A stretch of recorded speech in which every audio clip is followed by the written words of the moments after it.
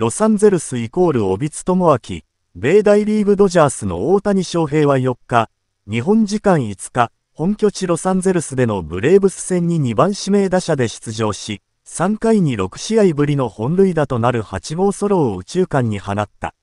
打球速度は103、4マイル、約166、4キロで、飛距離は392フィート、約119、5メートルを記録した。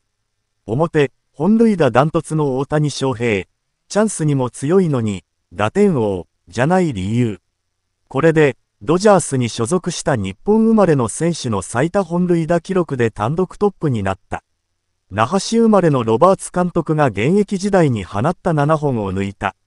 監督の記録に並んでから、記録を抜くこと、そこを目標に頑張っていると冗談めかして語っていた大谷。